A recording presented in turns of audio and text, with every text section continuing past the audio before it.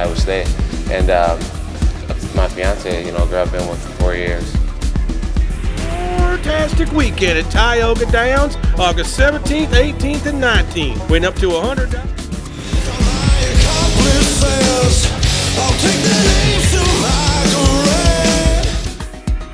WBNG TV Action News for complete local news coverage at 5 o'clock. At 5 o'clock.